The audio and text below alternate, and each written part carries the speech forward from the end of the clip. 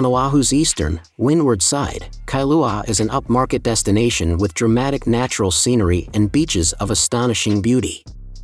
One of these, Lanikai Beach, has all the hallmarks of a tropical paradise, down to the glistening turquoise waters and powdery white sands. Kailua is separated from Honolulu to the east by the sheer rim of an ancient caldera, climbing 500 meters above the landscape. Today we share the top 10 best things to do in Kailua so you can plan a trip and experience all the exciting attractions and activities this beautiful city has to offer. Starting with number 10, Lanikai Beach. Picture the perfect Hawaiian beach and it would surely come close to this sweep of soft white sand lapped by gently aquamarine waters. Lanikai Beach is often named among the very best in Hawaii, and it's easy to understand why when you glimpse the glimmering waters, the lush vegetation behind, and the arresting vistas out to the Mokulua Islands. As we'll see later, you can embark on a kayak trip from the beach to reach the northernmost of these two islets punctuating the horizon to the east. Lanikai Beach is public, but not part of a state or municipal park. Buffering the shoreline is a high-end residential neighborhood, and you'll get to the beach via alleyways from the parking areas. At number 9 is the Kailua Beach Park. At the south end of Kailua Bay, this beach park is a few steps from Lanikai Beach, but comes with all the facilities you would expect from a public beach. Kailua Beach Park is second to Lanikai Beach on this list, but would give any beach in the world a run for its money you'll encounter silky white sands and lagoon-like waters, traced by a green barrier of tall ironwood trees and coconut palms. As with most of the beaches on the Oahu's windward coast, the ocean breezes are very consistent, attracting windsurfers and kitesurfers. At number 8, Kalama Beach Park. A short walk around the bay from Kailua Beach Park is another enticing stretch of white sandy beach, a little less frequented than its neighbor to the southeast. In fact, one of the things that will strike you about Kalama Beach Park is how quiet it is, with only upscale residences hiding behind a wall of palms, koas, and beach cabbage, and bathers dispersed around the shore. There's a brisk wind most days, and you're sure to see plenty of kitesurfers and windsurfers in the bay. Looking out at the ocean you can see the Ulupau crater to the northeast and the twin Mokulua Islands to the southeast. At number 7, Honolulu Botanical Garden. This branch of Honolulu Botanical Gardens is a little more than 10 minutes out of Kailua and was laid out in the early 1980s by the United States Army Corps of Engineers for flood protection. All the more beautiful in the shadow of the Ko'olau Range, Honouluhia Botanical Garden is a rainforest garden planted with species from tropical regions around the world, among them sub-Saharan Africa, Malaysia, India and Sri Lanka, Polynesia, Melanesia, the Philippines and Hawaii. These are grouped geographically and create spellbinding vistas against the soaring Pali cliffs behind.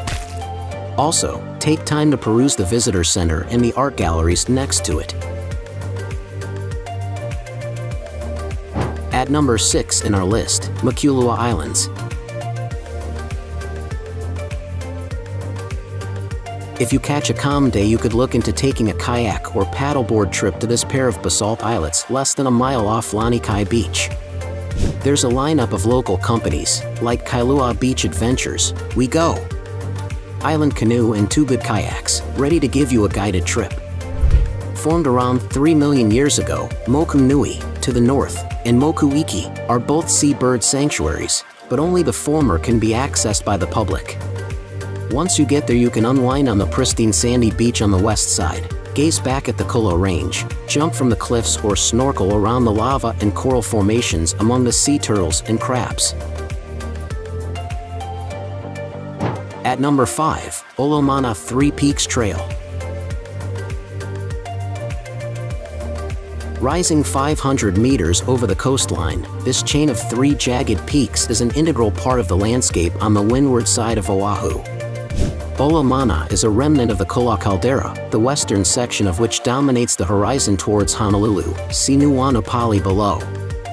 One look at Olomana and you'll know that this is a hike not to be taken lightly, requiring a lot of scrambling and a stomach for heights. Ropes are provided to help you tackle the steeper ascents, but you'll still need to pick your way up a few walls unaided. At number 4, Nuanapali.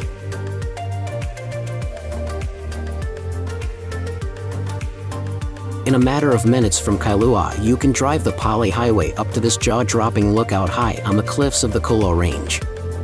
From Nuanapali, at an elevation of 365 meters, you'll get a panoramic view of the windward side of Oahu, encompassing Kailua, the ocean, big swathes of greenery, and the Olomana peaks. The wind-up here is formidable, so strong in fact that on most days it will support your weight. This location also has a violent past, as in 1795, the founder of the Kingdom of Hawaii, Kamehameha I's troops forced Oahu's men off these cliffs to their deaths in his campaign to conquer and unite the islands. At number 3 in our list, Bellows Field Beach Park. On Kailua's southeast side, at Waimanalo, sits the Bellows Airfield Station, a military reservation that served as a key airfield during World War II. The last runways were closed in the 1950s, and the station is now used for training and recreation. The park is open to the public on weekends and warrants the short trip from Kailua if you'd like to relax on a long, wide and soft sandy beach with lowish waves. There is a shallow sandbar here for body surfing and bodyboarding breaks, and partly because of the prevailing trade winds, there's a curious array of wildlife. At number 2, Maunawili Falls. Wedged between the Pali Cliffs and Mount Olomana, this family-friendly, out and back trail in the Maunawili Valley will take you to a gorgeous waterfall hiding in the jungle. The trailhead is easy to find, in a residential area next to the Royal Hawaiian Golf Club. From there you'll have a 2.8 mile hike, scrambling over rocks and tree roots, with ferns at waist height and occasional vistas of windward Oahu's dramatic terrain. The falls are just below a scenic plateau, where the river plunges into a paradisiacal swimming hole, and where you can leap into the water from the rocks if you're feeling brave. Check out the number one places in our list, Lanikai Pillbox Hike. Starting just behind Lanikai Beach you can embark on a short but very scenic hike along the Kaiwa Ridge, tracing the coastline for 1.8 miles. You'll need about two hours for the round trip, and although the trail is short, there's a stiff initial climb to get up on the ridge.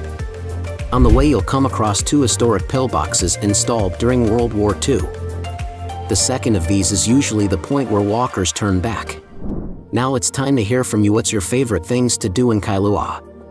Is there something we missed let us know in the comments section below and don't forget to give this video a like and subscribe to Greenable if you haven't already click the bell icon to stay updated on all our latest content.